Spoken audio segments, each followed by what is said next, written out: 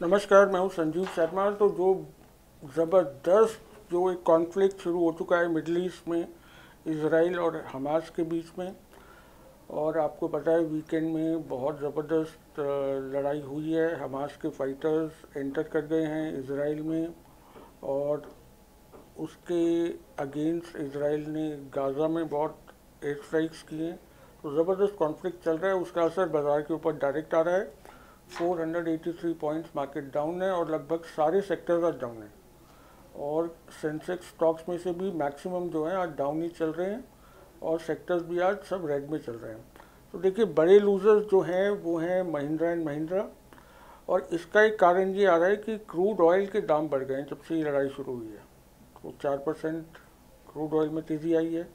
और ये बताया जा रहा है कि अगर ये कॉन्फ्लिक्ट लंबा चलता है तो इक्विटी मार्केट्स के लिए नेगेटिव है।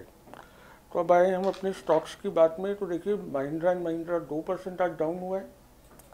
ये आपके सामने देखिए। उसके अलावा बजाज फाइनेंस पौने दो परसेंट डाउन तो ये सब जो स्टॉक्स हैं, आज इन्होंने मार्केट को नीचे लीड किया है। टाटा स्टील भी एक परसेंट से ज़्यादा डाउन था।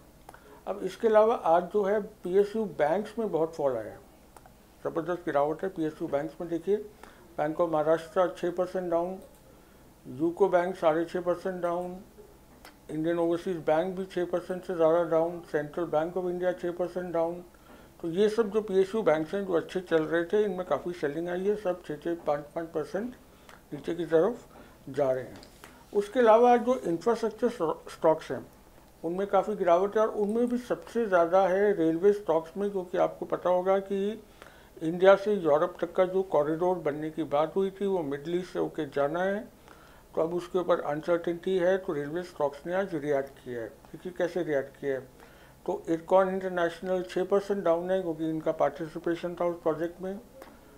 और रेल विकास निगम पाँच percent down Indian railway finance corporation ये भी पाँच परसेंट डाउन तो ये आप देख रहे हैं कि कैसे कैसे जो कॉन्फ्लिक्ट है मिडल ईस्ट का, उसका सभी सेक्टर्स पे असर आ रहा है। स्टार्टिंग विथ क्रूड प्राइसेस तो आज के लिए बस इतना ही, आपसे चाहते हैं। इजाज़त thank you for watching goodbye for now